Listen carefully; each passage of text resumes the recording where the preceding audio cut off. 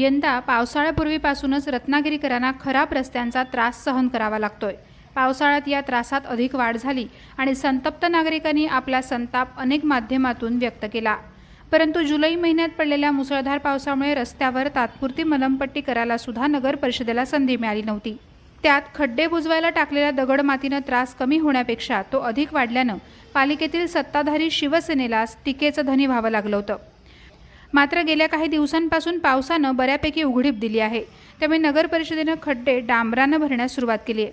मात्र शहरात रस्ता शोधावा लागत असल्याने पालिका किती ठिकाणी ही मलमपट्टी करणार हा मोठा प्रश्न आहे. प्रहार डिजिटलसाठी अनघा निकम मगदूम रत्नागिरी.